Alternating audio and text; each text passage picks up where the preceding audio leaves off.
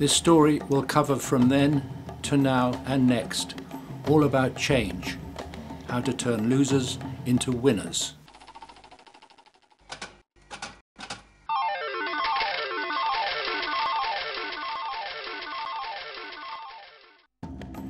Table Mountain, Cape Town, South Africa.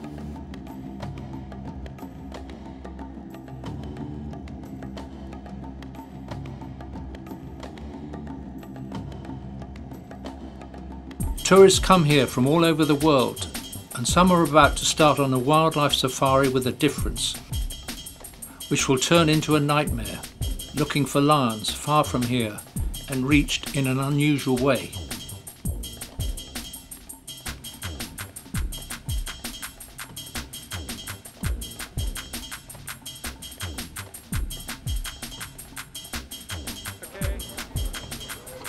Hello. To the Shongololo Express. Not your typical safari minibus, but a train with small rooms. And at the moment, right by the sea.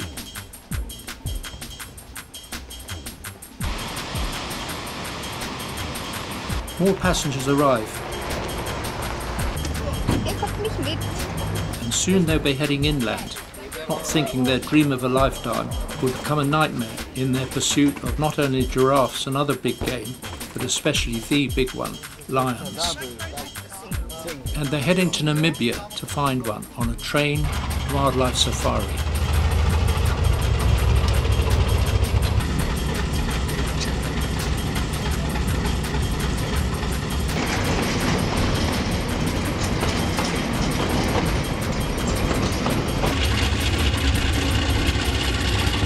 There's a lot of this, and there's a lot of Namibia, over four times the size of the UK. Like looking for a proverbial lion, not a needle, in a haystack.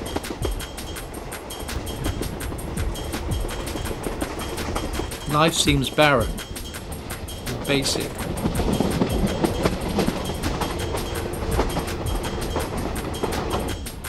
Could they be lion food?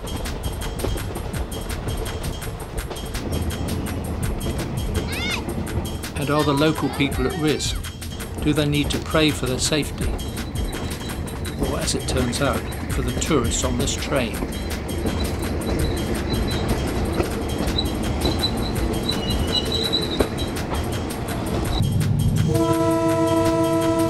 There are not many railway crossings around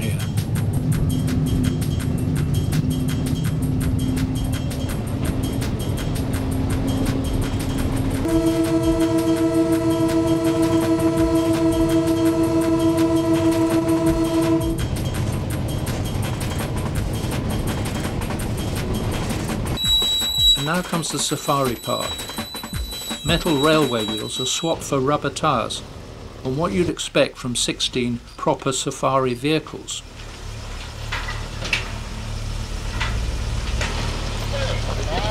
It's a great idea. Bring your own, go off on a trip, and return to the comfort of your cabin. And move on again. At least that's the idea anyway.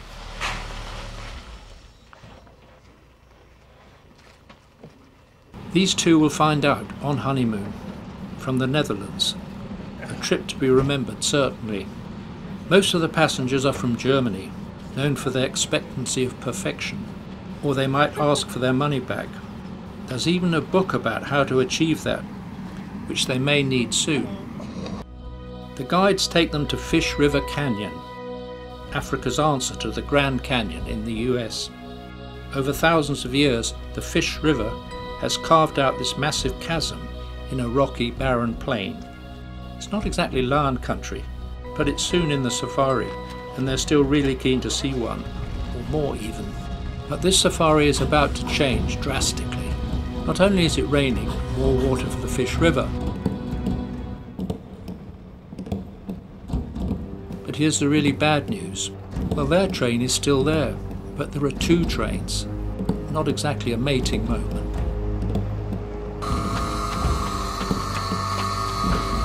It seems our train was parked in a siding and another one simply crashed into it.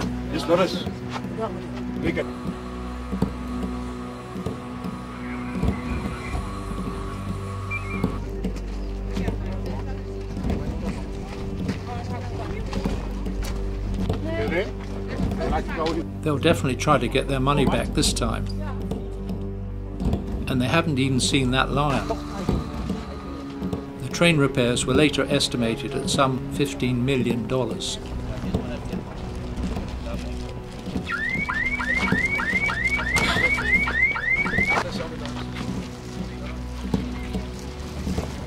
It's been raining and it's getting dark when predators prowl.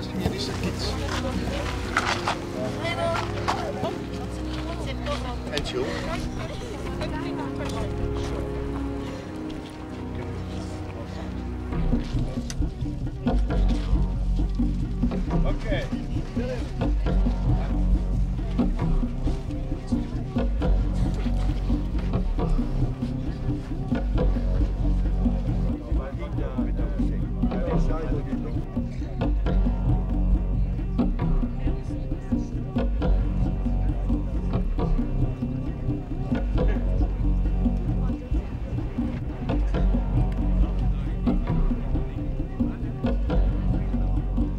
Certainly a honeymoon to remember for our Dutch couple, Jokie and Nano.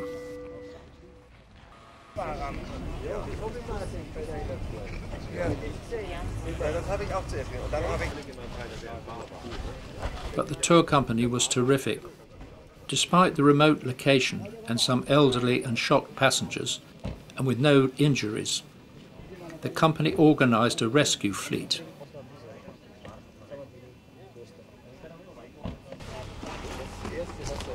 It was the end of the train safari, but it was to continue by road. The new Dutch wife is delighted to meet a particularly friendly warthog, who's looking for a selfie apparently.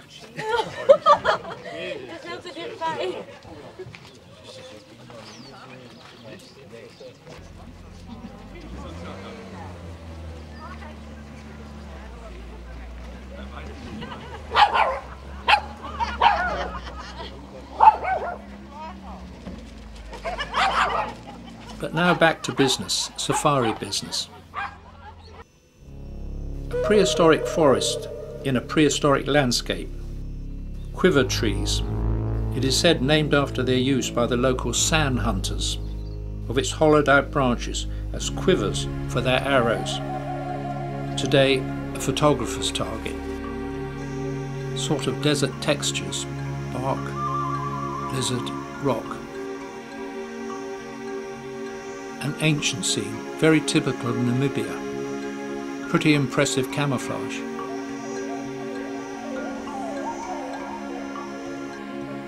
But this tourist has found an easier target, a blue version.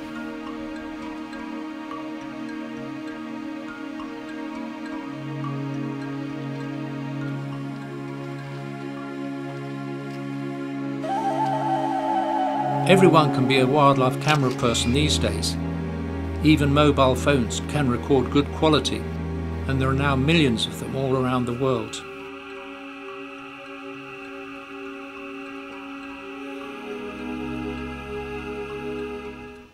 A tourist wouldn't think of travelling without a camera.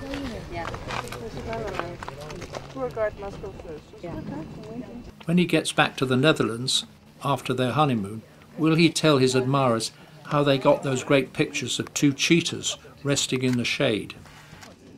Cheating, perhaps. Big cats have many more fans than lizards, and top of the pops is the big cat, the lion. Time is running out on this safari. In the meantime, the Shongololo non-train express is enjoying their symbol, giraffes and antelopes. It now seems giraffes all over Africa are declining. It seems extraordinary not to know more about them, such a famous great creature. And far down below, a tortoise virtually runs on his safari.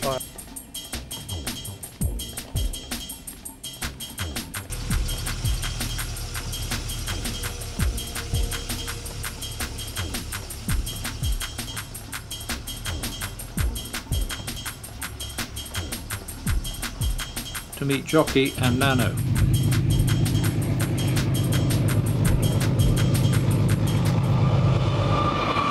Danger area.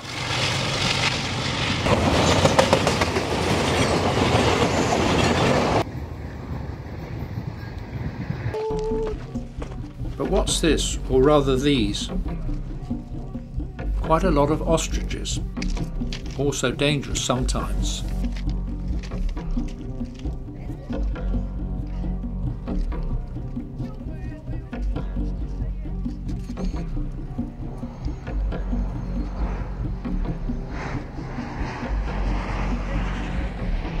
An ostrich farm. The meat is much favoured, with low fat. The feathers world famous, and the huge eggs can make a lot of omelettes. Perhaps not a boiled egg though.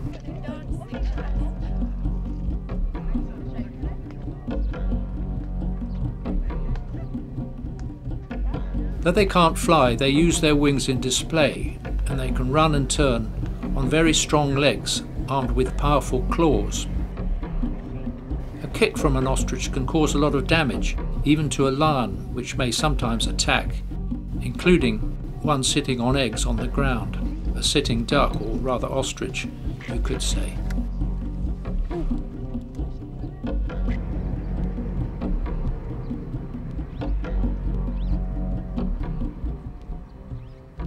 Oh, memories.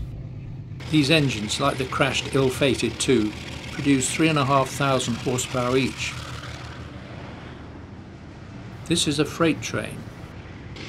Namibia's mineral resources are vast and the country is underexplored. After mining, agriculture and fisheries, tourism is the fourth most important sector.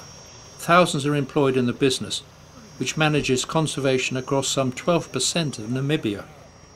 So the value of a weaver bird colony, this one so heavy that it's broken the tree, and other wildlife may come up against industrial expansion later. But for now, Namibia seems to have plenty of space and can conserve its resources sustainably. That magic word. In the past, there were hundreds of so called hunting farms, now very controversial, as it turned out with Cecil the lion, killed for sport and money in Zimbabwe in 2015. We'll look at that later, and local lions, we hope, as the group move on to a wetter habitat. Any wildlife safari in Africa, from Angola to Zanzibar, includes certain key ingredients. Dry, dusty roads, followed by a pool. Very early starts when it's cool and the animals are out and about. The best way to find them is with a local guide, in this case a bushman, who mixes traditional with modern.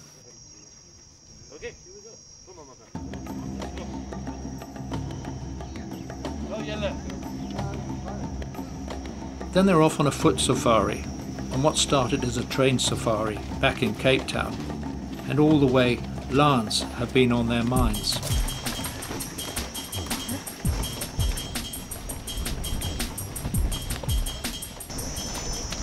They see how a buried ostrich egg can hold water, crucial in this red hot desert. Hmm?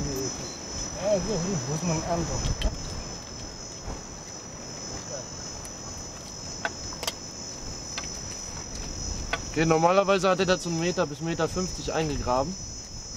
Dadurch, äh, dass die Tiere ja. nicht. Die Tiere nicht ans Wasser ja. ja. Die riechen ja das Wasser.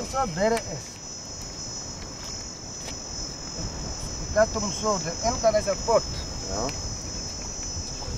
Okay, that got different works, the ostrich egg. One way is it for keeping water, on the other side. The guide leads them to his village, more of a show community really. Some would criticise this artificial kind of reality, but without it traditions would die out, and at least it provides some income for the original owners of this land. In terms of money and lifestyle, this is where two cultures meet briefly. That's until the next safari comes by.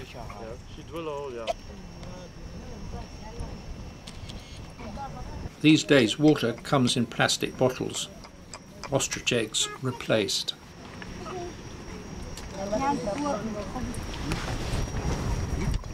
So does milk, also a replacement.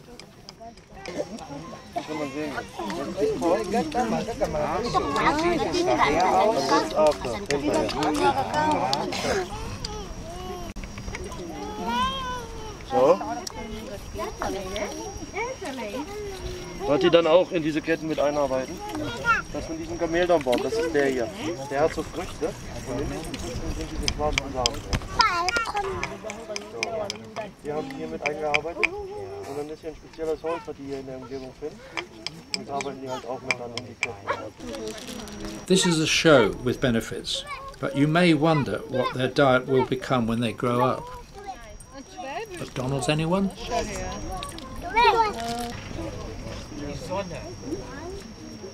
From the show home and the quick guided tour, it's back by vehicle to a very different world. The natural world, what they've come all this way to see.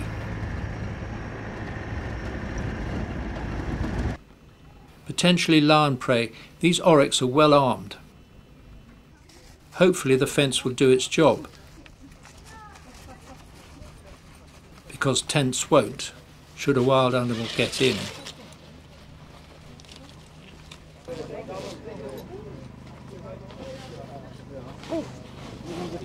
That's the appeal of a wildlife safari, being out there amongst the wildlife. But no one mentioned the dawn chorus all day.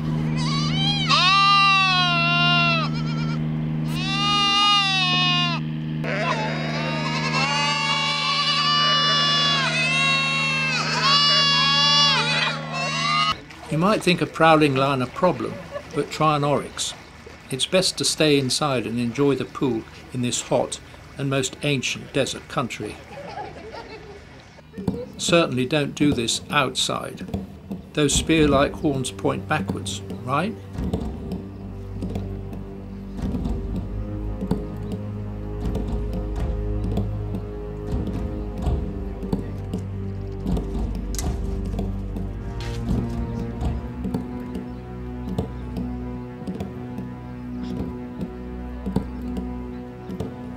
He's lucky to get away with it. Not very clever. This is the early start part. When it's calm and the light's great, Jockey and Nano visit the famous sand dunes of the Namib. Once a lake was here, but the trees have long since died, and the only moisture comes from mists that sweep in from the ocean.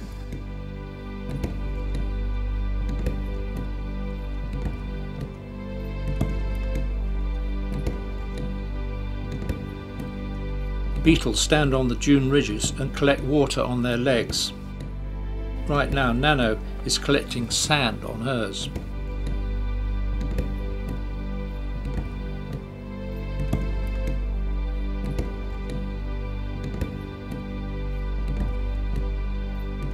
A very special place with some very specialised nature, surviving in what would appear to be a disaster area. It's humans that need or create all the help they can get.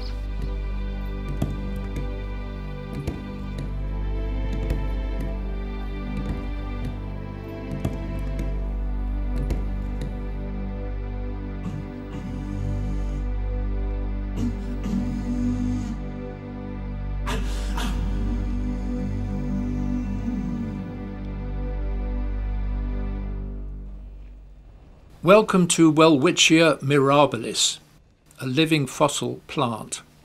In effect, it's a tree turned dwarf by the rigours of the desert, producing only two leaves throughout its long lifetime. These grow to three metres, that's 10 feet long. and the one who found it, the one said it must be banked, and the other one said it must be from the from the air. Now, the root system of the Welwitschia is very close to the surface. Now, when Separate male and female flowers are produced, and one specimen is thought to be at least 2,000 years old.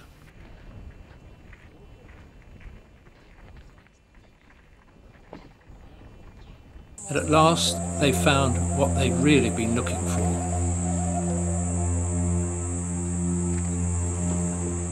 A lion.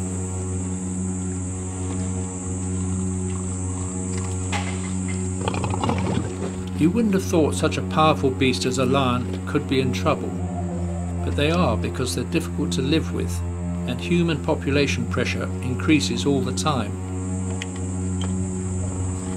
They're okay in Namibia, enough room at least for now. They help to maintain healthy prey species by killing off weak individuals.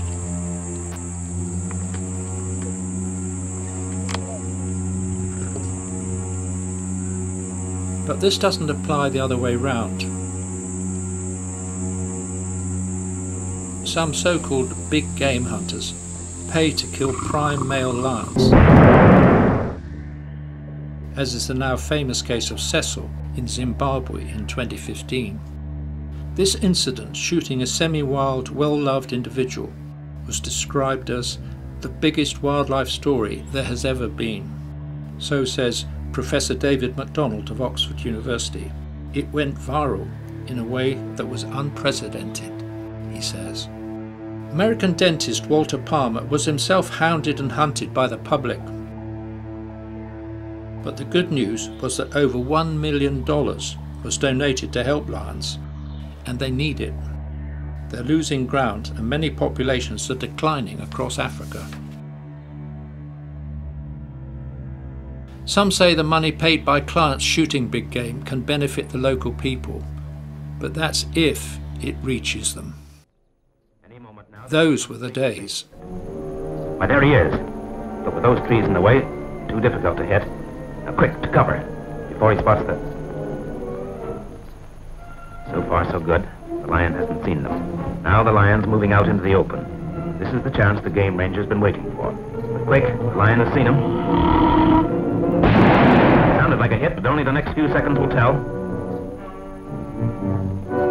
Is it dead or only shamming? No, this time the lion's down for good.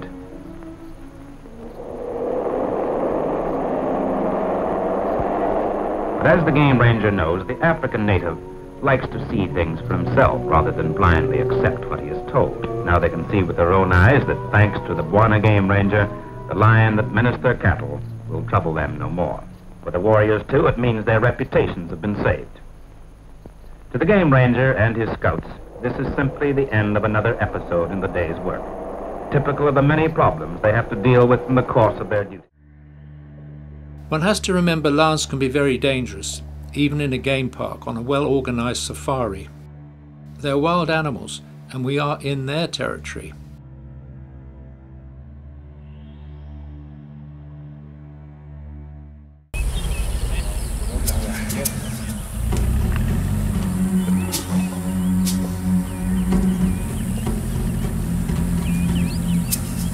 This seems a bit risky.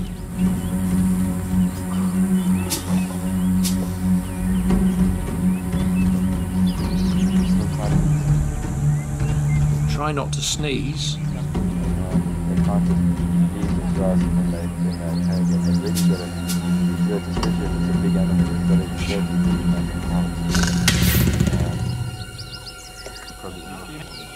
This is a young female from the group.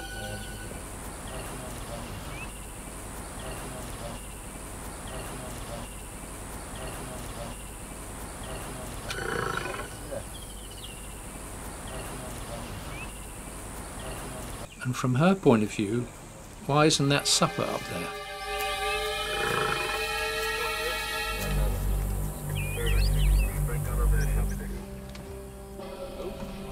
But everyone survived the safari, even the train crash, which the tourism company rescued and put back on the road.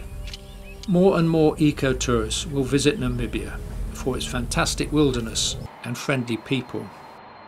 Jumbos of the skies will bring them to some of the most remarkable natural wonders.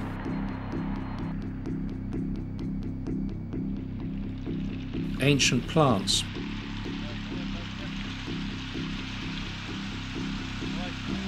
on their honeymoon perhaps, and the stars of the show, whose future is in doubt.